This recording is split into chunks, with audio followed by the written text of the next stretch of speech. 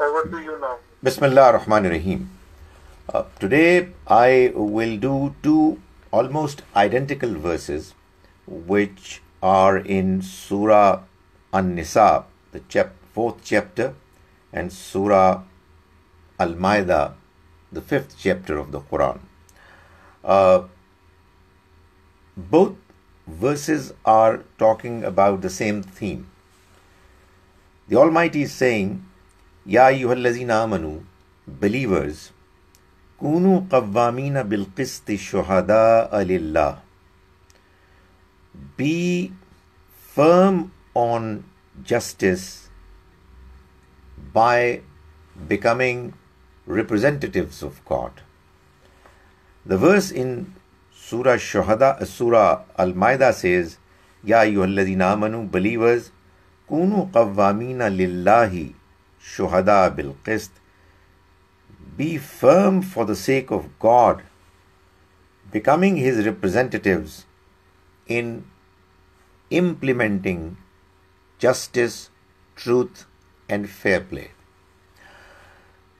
It seems from the message of the Almighty that it is fairness, it is justice that is the starting point of uh, a religious personality.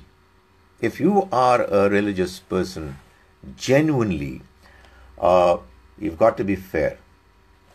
Fair in taking decisions, fair in what you speak, fair in the manner you deal with people.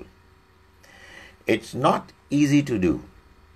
However, when you have your target objective very clear in your mind, despite your weaknesses and shortcomings, you have the advantage, the privilege of at least attempting to come close to your target, come close to your objective.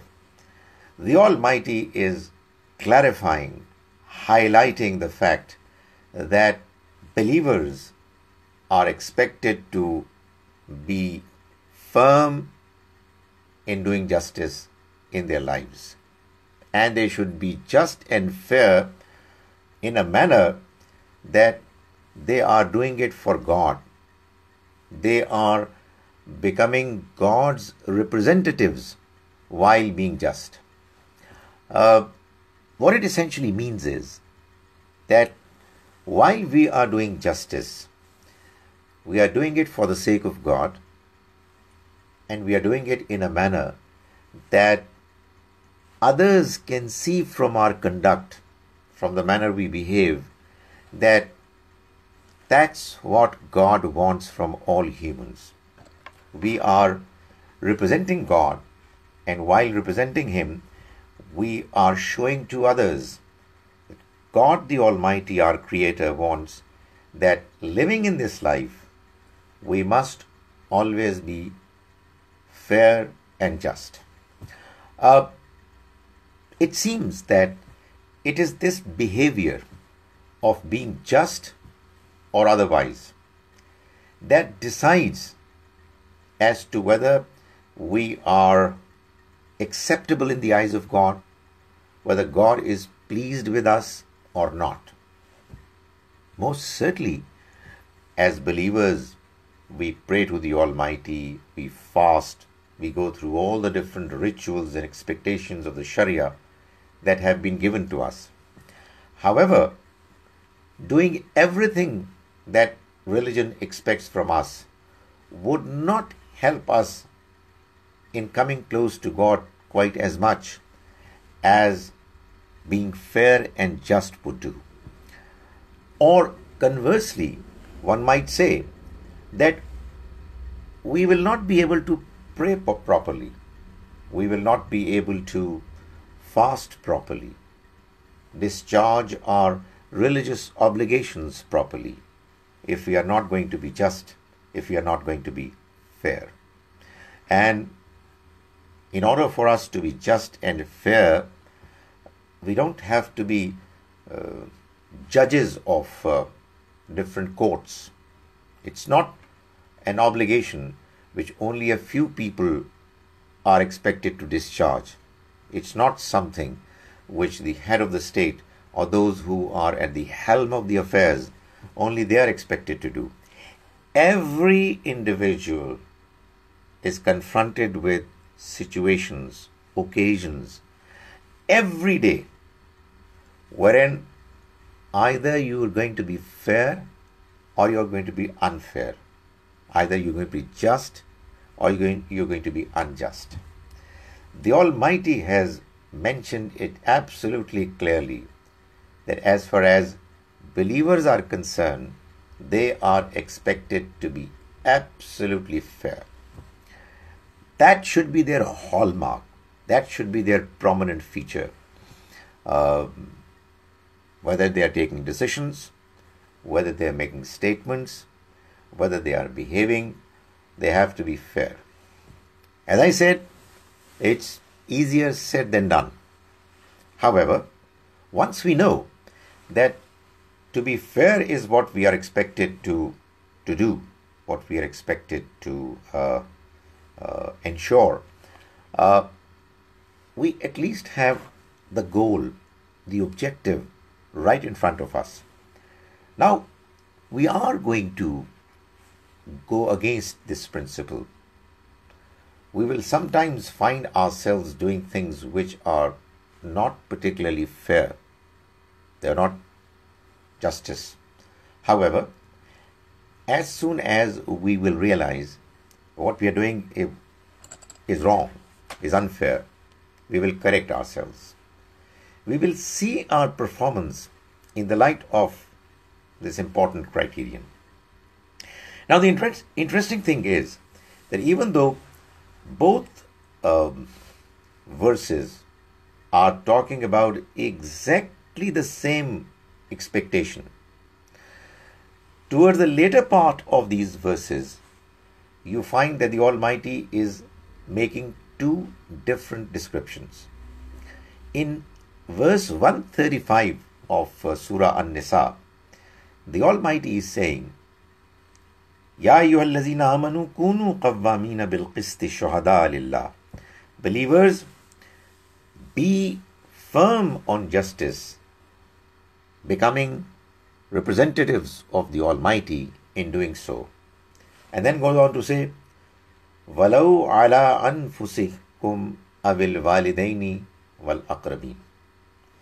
Even though in doing so you are going against your own self interests, interests of your parents, or those of your relatives. In other words, the Almighty is clarifying that it's not going to be an easy task. It's not, it's not going to be smooth sailing. You will find that when you will try to be just, your own interests would stop you from doing so the interests of your parents would stop you from doing so. Uh, your relatives, your attachment to them, your attachment to your friends, etc., they are going to stop you, prevent you from being fair and just. Uh, unless you know what the obstacles are, unless you know uh, the hurdles that are there in achieving your objectives, you will not be able to achieve them. It's going to be only a desire, a wish, and nothing more, which will be unachievable. So the Almighty is telling the truth and following it and being fair and just. We will have to overcome uh, the difficulty, the challenge of, uh, of our own self interests and those of our uh, relatives, parents, etc.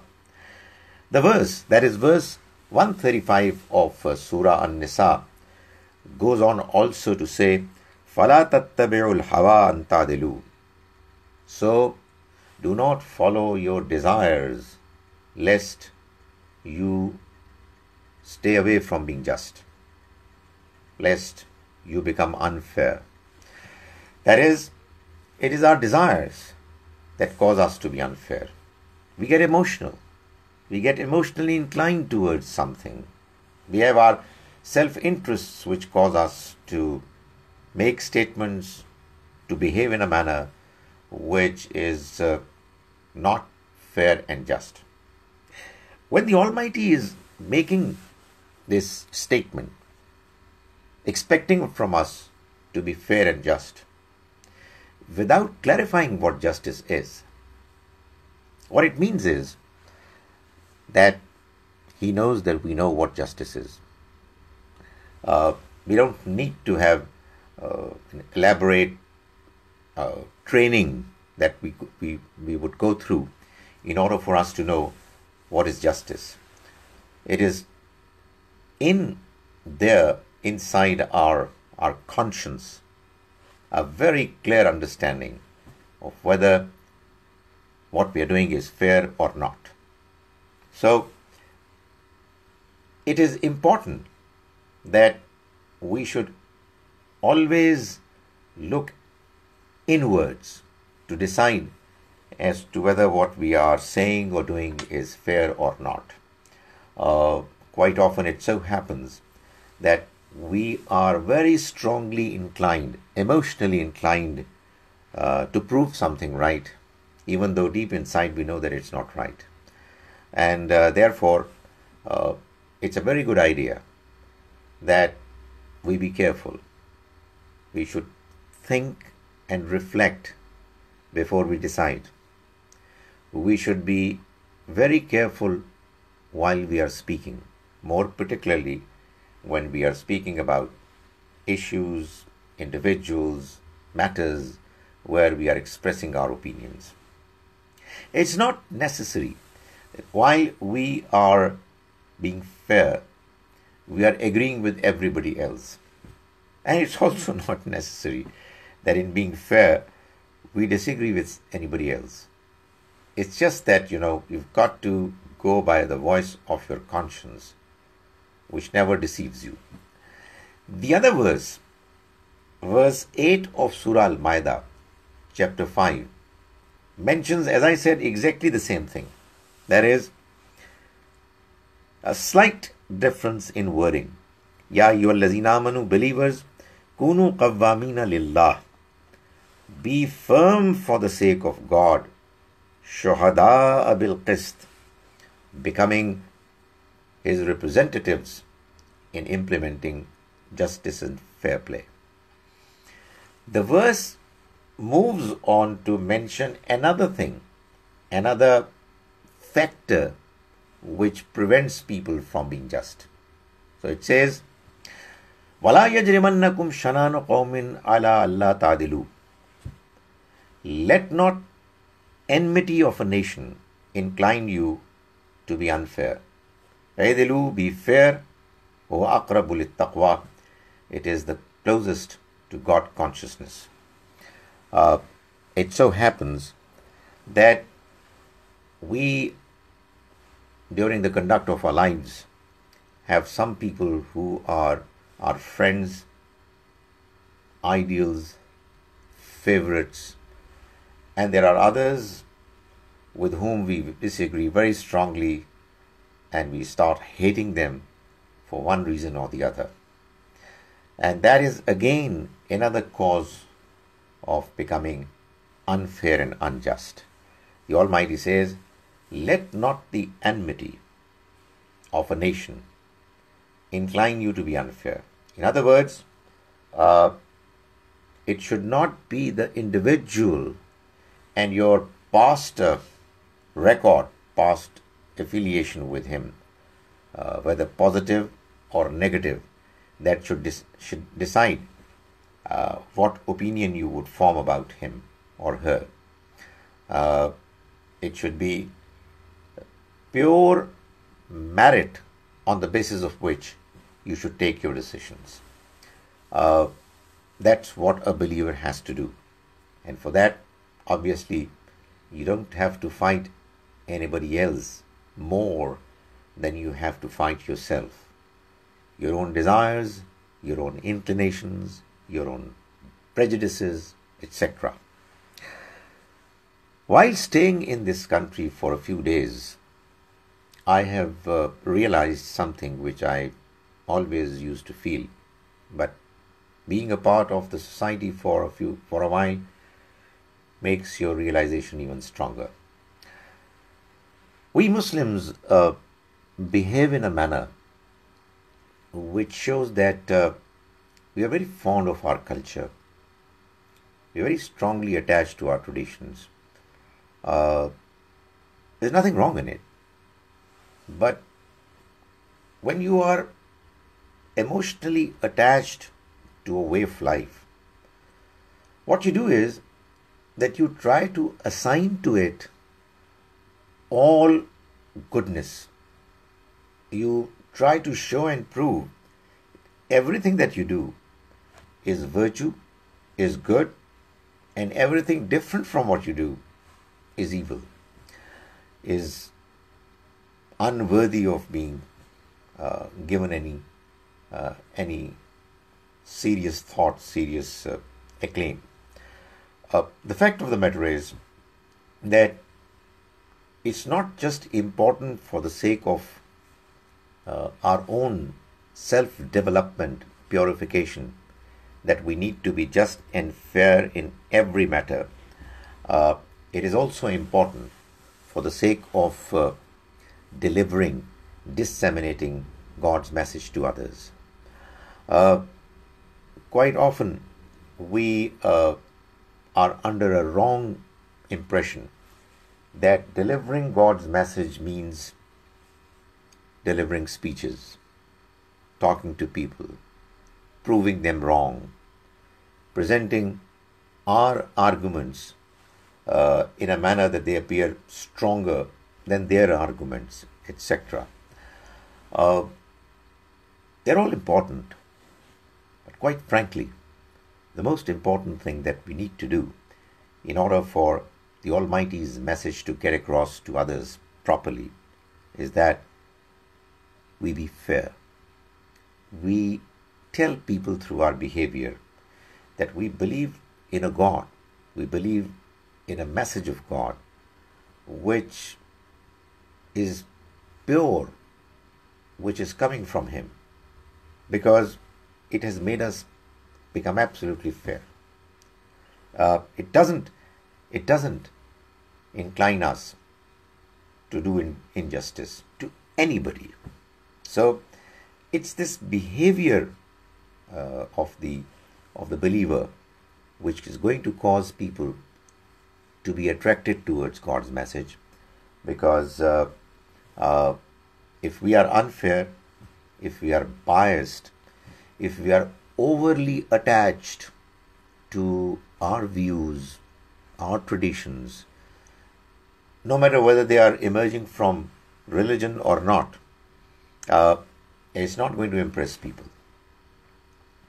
Uh, finally, this verse, that is verse 8 of Surah Al Maida, is mentioning another important, important fact God's policy, which is Aidilu huwa aqrabu taqwa. Be fair. It is the closest to taqwa, to God consciousness. God consciousness is a feeling, is an attitude based on the realization that God is there. And that realization is something that you we cannot have uh, by just wishing it. It's something that we earn by behaving properly. Feelings are not something that you can have on your own. Feelings get created, feelings happen, they emerge. And they emerge because God allows them to emerge. Now, the behavior and attitude of God consciousness, taqwa, is something the Almighty is telling us uh, you can get if you are fair, if you do adl, if you do justice. So the Quran says, "Aidilu, be fair, huwa aqrabu taqwa." That behavior of justice and fair play is closest to taqwa. That is, if you're going to be fair, you'll become God conscious. So obviously, we would all want to become God conscious, muttaqi, and the way we can do it is that we be fair and just in our dealings with others.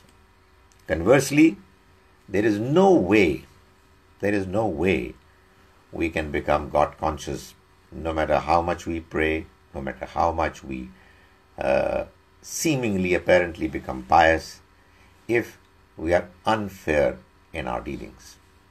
May the Almighty enable us to become fair and just in our dealings with others, and may He enable us to become God conscious as a consequence. Now we move on to the second part of uh, our program, wherein I make an attempt to mention some aspect of our religion which needs clarification. Uh, remember, we were talking about Sunnah. What is Sunnah? And uh, what are the different views about Sunnah? And I mentioned uh, in my earlier presentations that although on the one hand it's very clear and unanimously agreed upon by Muslims as to what the Quran is and where to get the Quran from. It's a text, and the text is intact from A to Z. But the same is not true, unfortunately, with regard to Sunnah. Not all Muslims have the same view and opinion about Sunnah. I mentioned about Sunnah in my earlier presentation that a large number of Muslims believe that the Prophet, may God's mercy be on him, whatever he did, whatever he said, whatever he silently approved, all constitutes Sunnah.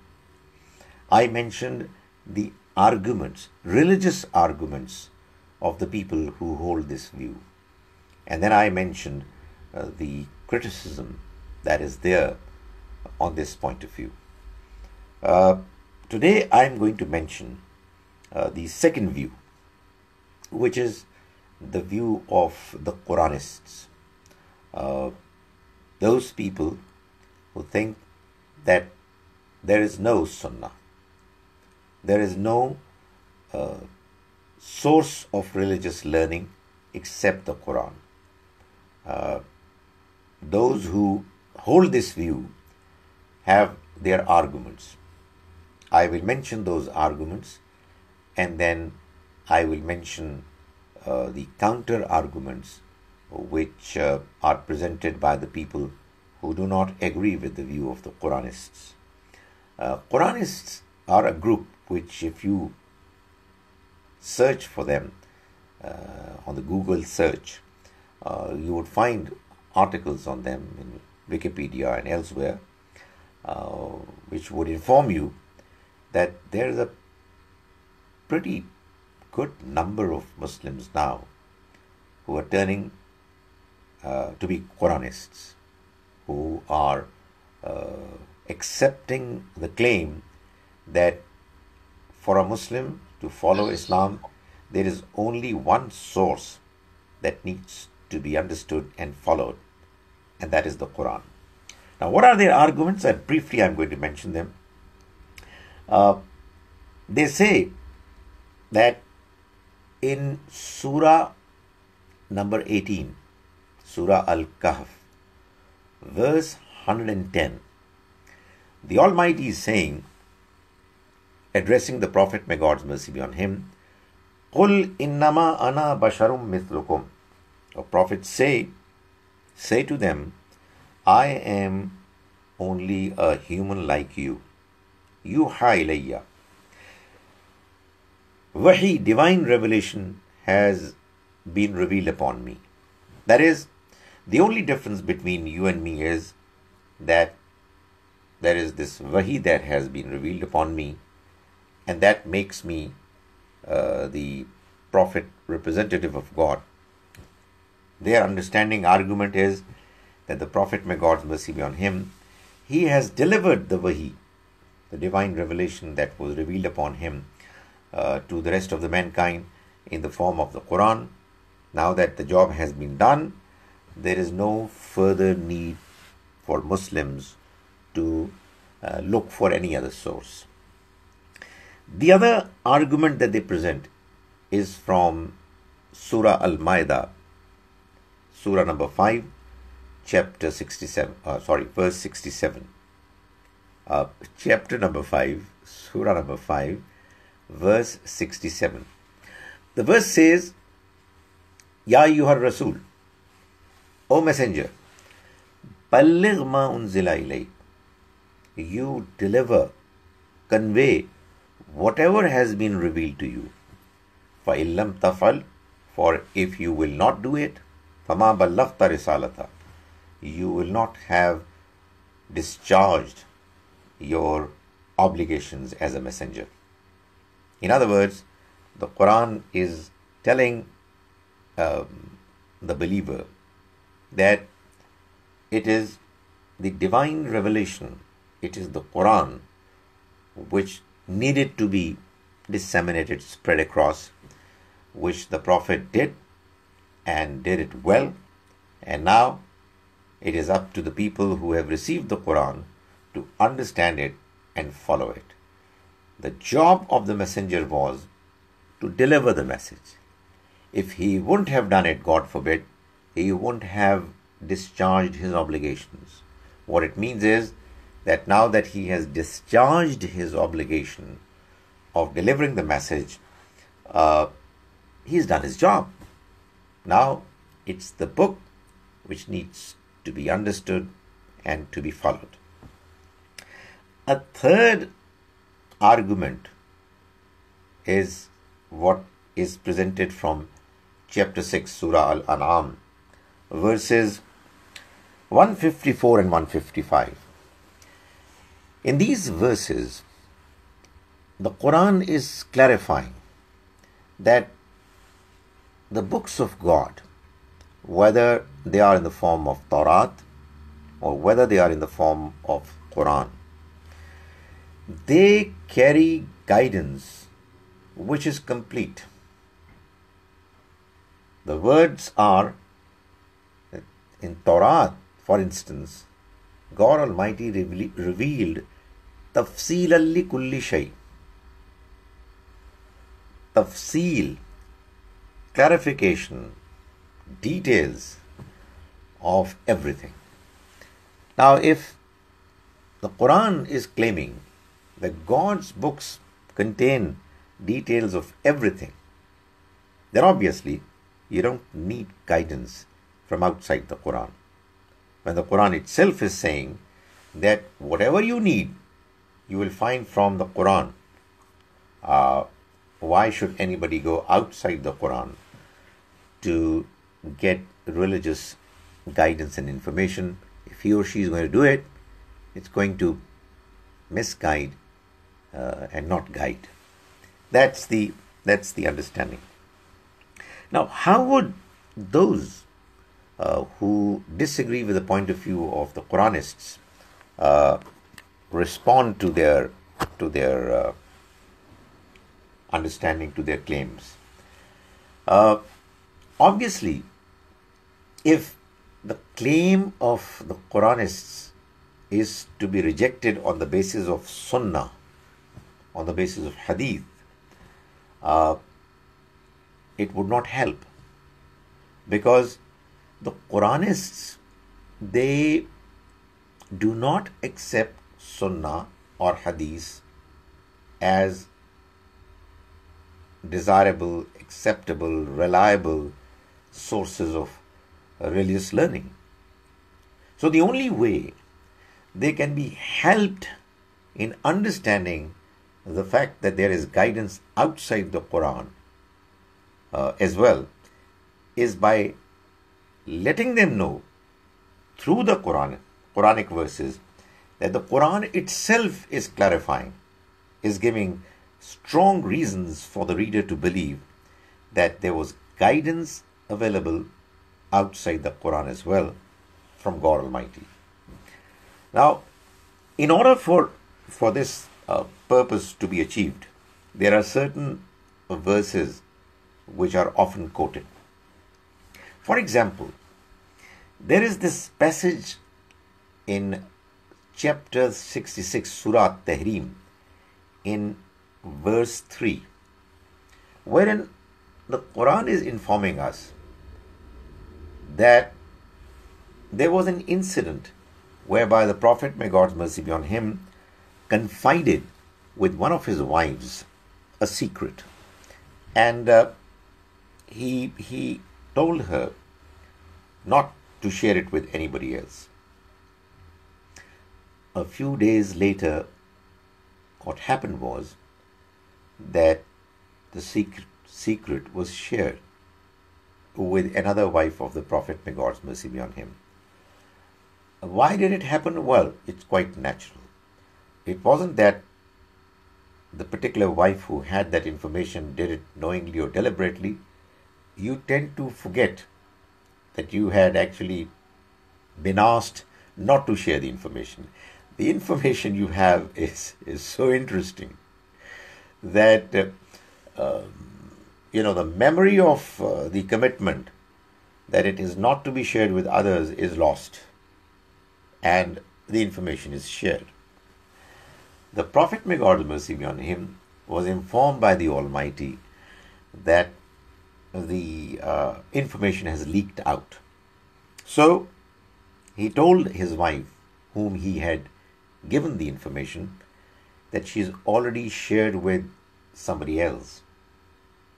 That wife was uh, surprised and she spontaneously, instinctively asked, Who told you?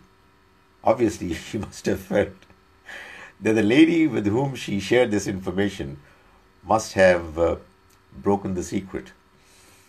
But the Quran says, the Prophet, may God's mercy on, be on him, he responded by saying, Nabba'ani al-alimul khabir.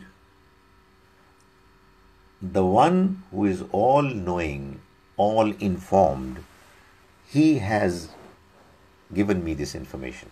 He has informed me about it. That is, God has told me that you shared the information that I give gave you for you to keep it to yourself with somebody else. Now, we do not have any verse from the Quran which says, O Prophet, your wife has shared the information that you wanted to keep to herself, her to keep to herself with somebody else. There's no verse anywhere which leads one to, to believe that the Quran, that the Almighty uh, communicated with the Prophet even outside the Quran. He communicated with him, and that communication has not become a part of the Quran. That is what the Quran itself is clarifying. Another another passage which uh, is quite often mentioned uh, in response to the arguments of the Quranists is verse 9 of uh, Surah 62, Surah Al Jummah, wherein the Almighty is saying that Ya amanu iza nudiya lis-salati min yawmil jum'ah fas'aw ila zikrillahi wazarul bay. Believers, when a call is made for prayers uh, on Jummah, you leave aside all your worldly engagements, uh, your your trade, etc., and you move towards, rush towards the remembrance of God. ذَلِكُمْ خَيْرٌ لَكُمْ لَعَلَّكُمْ تُفْلِحُونَ That is for, better for you, uh, so that you may may, may prosper. وَإِذَا قُضِيَتِ الصَّلَاةِ And when the prayer is over, فَانْتَشِرُوا فِي الْأَرْضِ Then you spread across in the land, وَابْتَغُوا مِنْ فَضْلِ اللَّهِ And look for God's bounties. Uh, the question that is raised is that what is it all about? What is the call for prayers on Fridays? What happens on Fridays? Where is it mentioned in the Quran? Nowhere. In actual fact, if you read these verses properly, the understanding that you get is that there was a arrangement of Friday prayers that was already going on before these verses were revealed. And the Almighty is telling believers to take this ritual, this worship, collective worship, seriously. So, uh, the mention of Friday prayers is only in a way that the Quran is giving a certain instruction regarding a certain exercise which was already underway, which was, which was already happening. The Prophet, may Allah's mercy be on him, had already started the proceedings of Jummah prayers.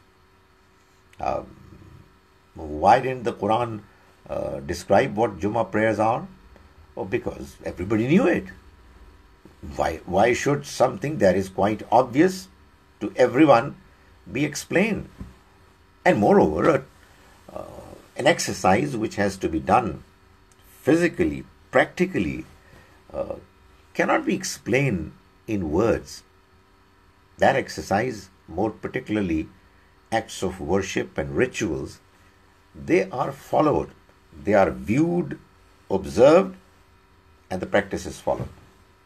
So, it is again submit, submitted before uh, the Quranists that, uh, look here, the Quran is clarifying that uh, there were certain acts happening in the society of Medina on which the Quran is making comments in a way that those activities, those acts of worship were very much a part of uh, the religion that was given to believers.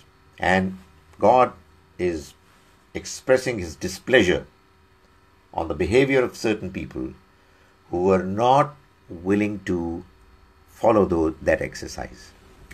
Then we have this mention in Surah An-Nisa, Surah number 4, verse 103, wherein the Almighty is saying, Inna salata kanat alal mu'minina kitabam mawquta.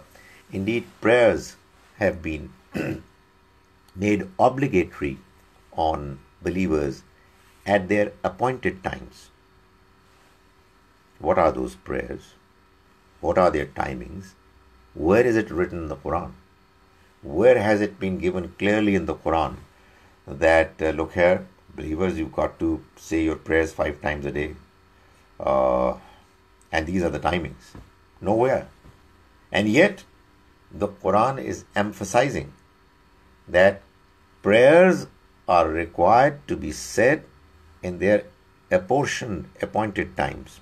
In other words, the Quran is confirming that the system of prayer that was given by the Prophet, may God's mercy be on him, which uh, believers are going through already, uh, they are obligatory and they are obligatory to be said in different times, parts of the day, without mentioning what, what those parts are, except for one or two mentions which are indirect, honestly.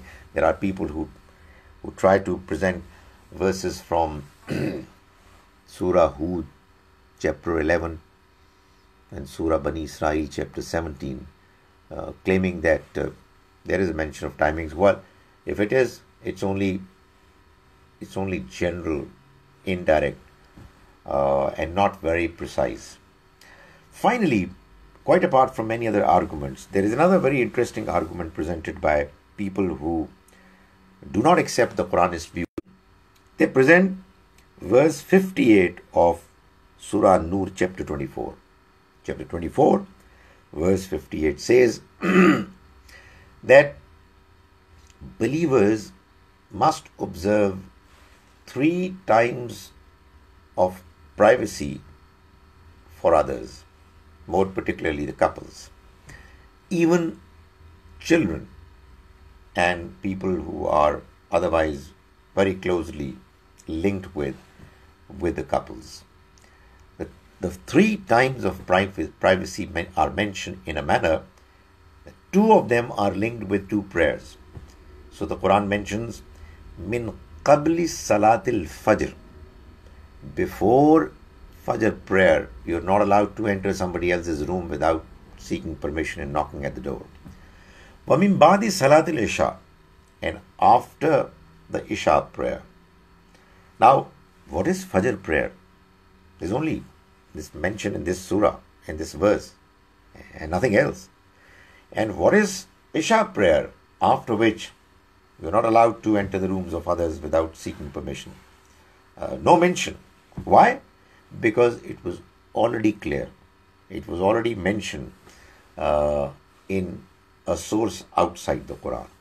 So, I've mentioned before you the Quranist view and their arguments, uh, some of the arguments that they present, and I have also mentioned the counter arguments that are mentioned uh, to show to the Quranists that their view that Islam is to be understood only from the Quranic text and from nowhere else, that view is not correct. Now I am available for questions, if there are any. Jazakallah khair. Uh, I have uh, some uh, quick questions about your earlier description of the of the Surah Nisa uh, verse, uh, I think it 135. 135. Uh, 135. Uh, in, in that verse, Allah is addressing to common people for causing uh, Islamic justice or the social justice or domestic justice or or it's an overall picture of uh, justice. Uh, I mean, uh, which type of justice Allah is referring in that verse? All justice, social, political, domestic, and collective. You see, justice, doing justice is an attribute, it's a quality. An individual is either fair or is unfair. A person who is unfair in his dealings with others at the individual level cannot be fair when he is given the responsibility of uh, running the affairs of uh, of a collectivity, of a, of a society, of a country. So, the expectation of the Almighty is from everyone. You know, in Surah An'am, sixth chapter, the Almighty, while describing uh, the moral principles which ought to be followed by all believers, one of the thing, one of the things that he mentions is, وَإِذَا قُلْتُمْ when you speak, fa'adilu, be fair. So this justice and fair play is desired by the Almighty from us even when we are speaking, even when we are thinking, even when we are forming opinions. I said uh, probably day before yesterday in a gathering that when you are forming religious opinions, how on earth is it possible for a believer to say that I belong to a certain sect? Like, it's not possible that you say just I belong to a certain political party and therefore uh, I cannot have any views other than the views that my sect or my party is presenting. Uh, while forming opinions, while making statements, while dealing with others, uh, we've always required to be fair and just. Most certainly, if somebody is given the charge to run the affairs of a collectivity, of an organization, an institution, or the society at large, then the obligation of being just and fair becomes even more stringent and the expectations are even higher. Likewise, obviously, is the case, case of judges who are dispensing justice. But this requirement is from all people. Uh, I see. Uh, it does mean that the, all the judges uh, in the society must have a high ranks than the other stakeholder in the society because judges they have to make uh, decisions, uh, maintain maintain the balance of uh, different values and good versus evil within the society, isn't it? Most certainly, judges, uh, whoever are required to take decisions about uh, the disputes that come to them, uh, disputes of people, uh, they should be given a position in the society uh, by the society wherein the temptations for them to be unfair are are minimized, uh, eliminated. They should be well paid. They should be should not be approachable for being pressurized. They should never be allowed to be threatened, etc. Uh, because the more uh, they are at ease, at liberty, and are free to decide, the more it's likely that they are going to be to, to, to give justice. Uh, no justice can be provided uh, with at, at gunpoint. Um, when a person uh, is in need of wealth uh, to take care of his needs.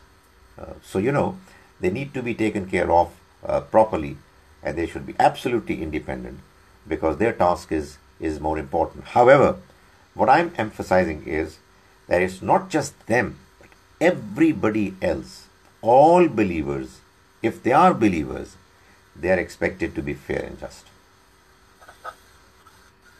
Yeah, and the last question in this connection is: uh, Is that is that uh, justice referring in both verses, which you have elaborated, are encouraging to implementation of Islamic punishments or Islamic justice system, which uh, and scholars uh, they are talking about and they are discussing to implement. Is that also referring, or this is a ge- general perception Allah is talking about? You see, when I will answer your question, I will be expected to be just and fair while answering it because I'll form some opinion. That opinion can be wrong, but God wants me to be fair and just when I answer your question. So I'm just giving you an example. That it's not just that there is an ultimate uh, form of justice that is required to be implemented. Sometimes it may happen that a person is apparently religious as, and is implementing some requirement of religion but is being unfair. My ordinary opinion is that when it comes to the question of implementing Islamic uh, punishments, uh, there are two things, there are two principles that need to be considered. One is that uh, Islam has, uh, the Quran has uh, clearly mentioned that Muslims, whenever they des- decide their collective affairs, uh, they do it on the basis of mutual consultation. Amruhum shura bainahum. So, Muslims or their representatives, in our case, their parliamentarians, should come together and they should decide that when the Almighty has given us uh, certain punishments to implement uh, in response to uh, crimes committed by people, uh, let's introduce those punishments because obviously they are from God. And who can be more fair than God? Uh, however, the other principle that matters have to be decided on the basis of mutual consultation has also got to be followed. Now, there could be one of the two things that might happen.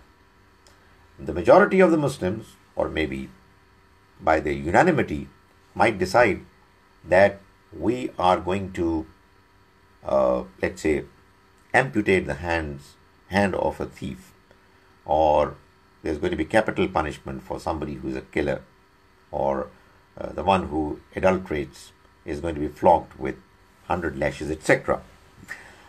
Uh, obviously, when the parliament decides on the basis of mutual consultation. The first principle that Muslims, their decisions are based on mutual consultation is going to be satisfied. And the second principle requirement that God's laws must get implemented will also be satisfied.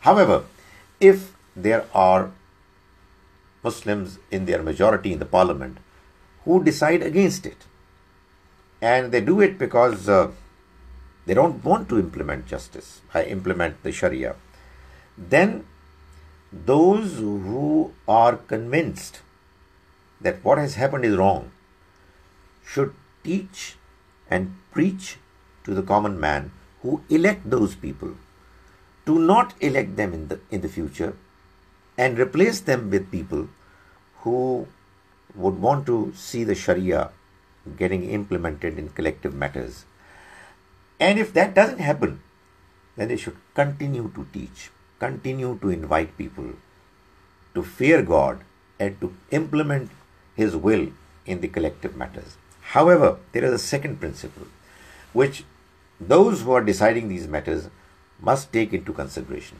And that is that while implementing hudud, that is, punishments uh, prescribed by the Almighty, we must make sure first and foremost that the society has been cleansed of those uh, inclinations, temptations which cause people to commit crimes. For example, if the gap between rich and poor, the disparity is huge. There's some people who are living uh, lives of luxury, and there are many people who do not even uh, who are not even able to have two meals a day. Uh, then this gap has got to be first lessened, uh, shortened, before the punishment of amputating a thief's hand is to be implemented. And obviously, similar is going to be uh, the case with uh, uh, the preparation that needs to be done before implementing uh, the other punishments. Amazing, uh, amazing description. And uh, I believe it is also related to the people and nations or the or the groups who glorify one events in history and uh, could not maintain that justice for, for what actually it happened.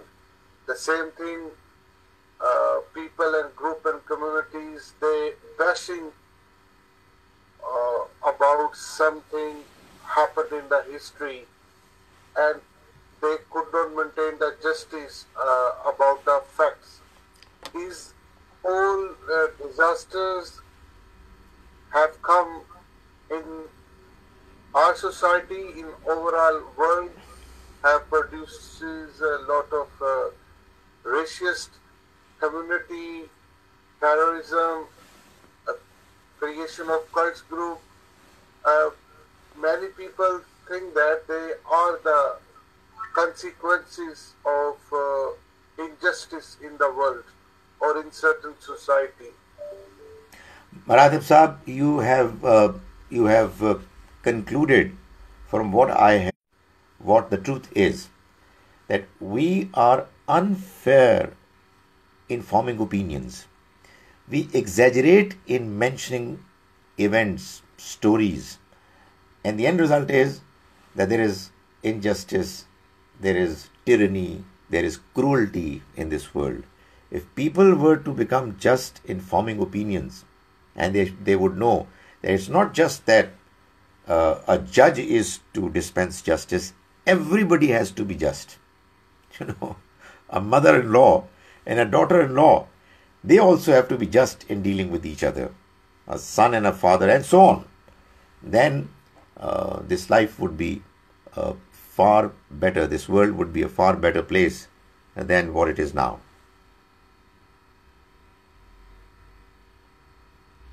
Yeah, absolutely, absolutely. Uh, I can request any participant they have any question.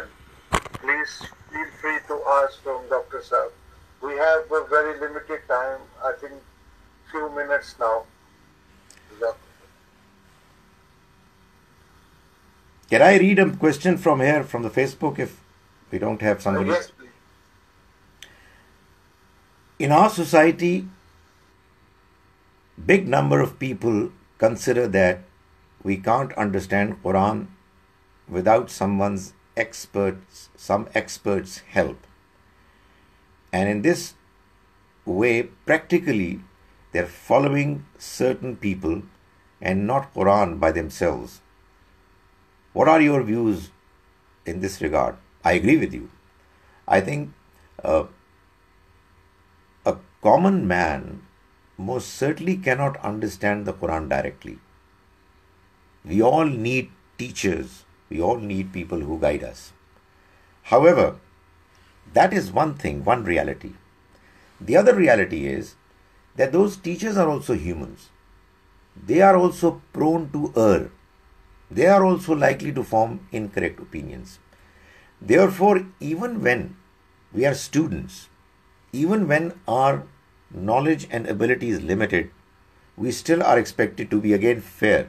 You know, the key word is justice and fair play. We need to form opinions in a way which is just and which is correct. So, uh, while understanding the Quran, also the same principle applies.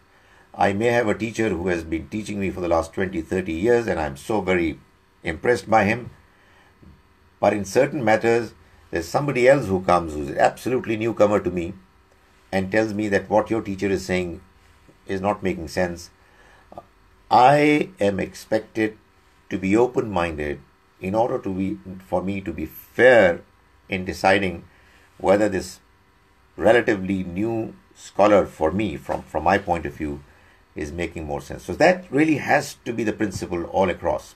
And I quite agree with you that uh, many people uh, they follow their scholars, uh, what they understand from the Quran, and they think that they're following the Quran, even though they're actually following the opinions of their scholars, which needs to be corrected. And, uh, you know, incidentally, what we have discussed today, the two Quranic verses, they are the key. So, even while forming religious opinions, we are expected to be fair.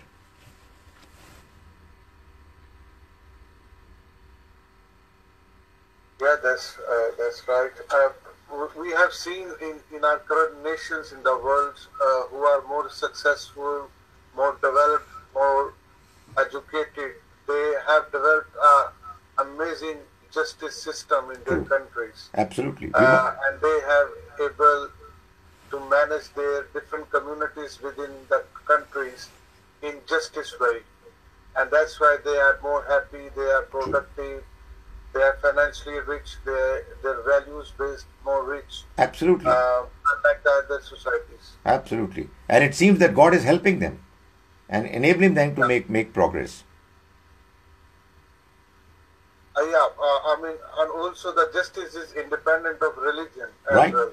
Anybody will follow the values and uh, uh, these things, they can achieve it.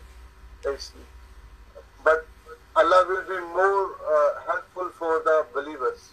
Is that correct? If they want to implement a justice system.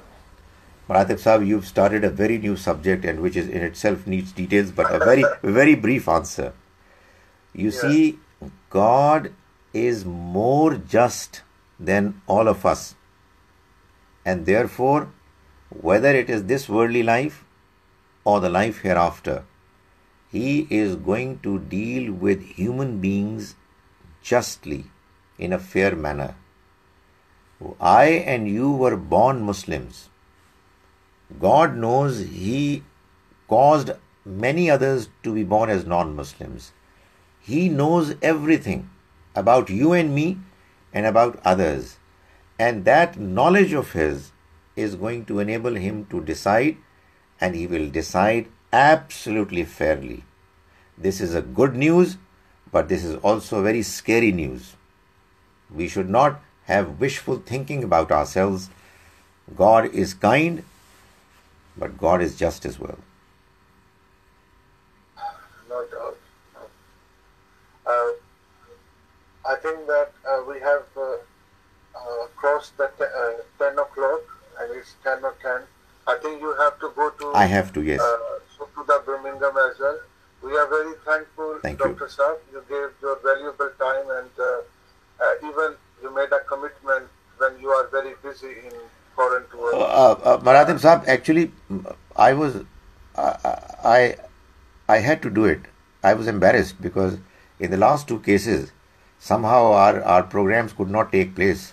So, you know, I made it a point that, you know, this time round, I must do it because, you know, we've not been having it. really appreciate. we Inshallah, we'll, inshallah, we'll be more regular. And please remind me about the uh, information that I must uh, pass on to, to the people in this country that we are having these online classes. Inshallah. Inshallah. Uh, many thankful. Thank uh, we will, inshallah, come next Saturday with Dr. Munir Ahmed in Urdu class session. And uh, please uh, pass to our Islam Studies Circle sessions information to any of the event which uh, Dr. Khalid uh, is currently conducting. So that is a very high time where we can motivate the people to our weekly Islam Studies Inshallah. sessions. Inshallah. Uh, Jazakallah. Jazakallah. Uh, inshallah, we'll see you next Saturday. Inshallah. Assalamu alaikum wa rahmatullahi wa barakatuh.